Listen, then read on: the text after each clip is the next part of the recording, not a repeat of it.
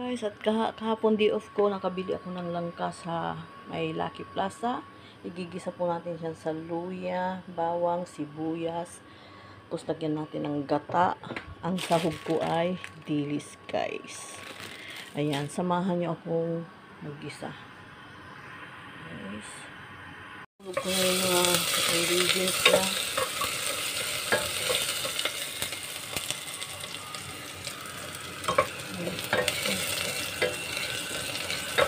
Yung pinagsabay-sabay ko na guys.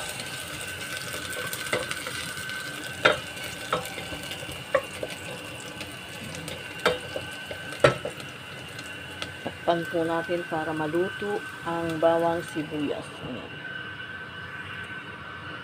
Tignan natin guys. Ayan, luto na ang bawang sibuyas. Lagyan natin sa ng release. Release guys. Sahugan natin ng marami total hindi ang release dito sa ampo. Ayan.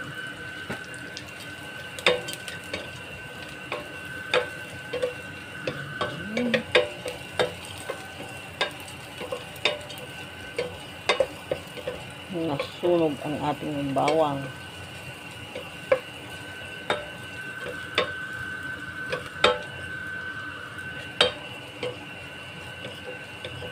Ngayon guys, ilagay natin yung langka. Tapos lagyan pala natin siya ng bagoong. Ayan, langka guys. Ito na siya guys.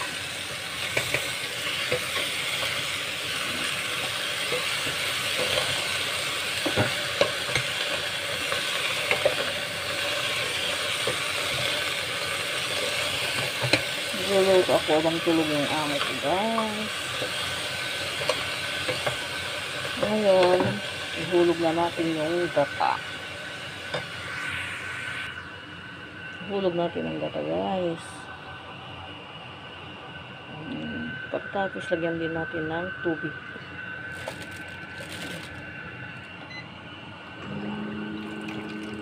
Hmm, Hindi siya nag-shoot. Hmm.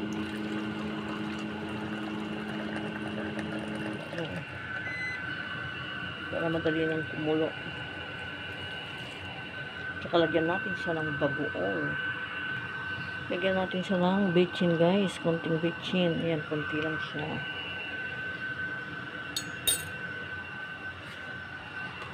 Tsaka, magic sarap guys. Tsaka, sarap.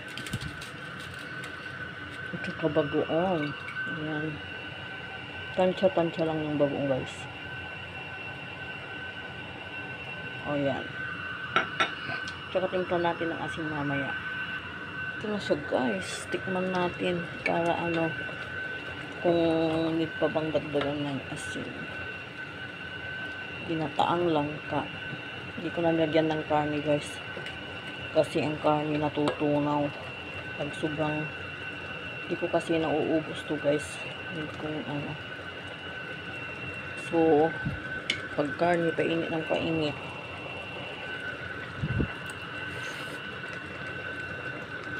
Mm, tama na siya guys. Yummy yummy na siya. Yan. Tignan natin guys. Looks parang ang sarap-sarap na siya. Mm. Ang sarap-sarap.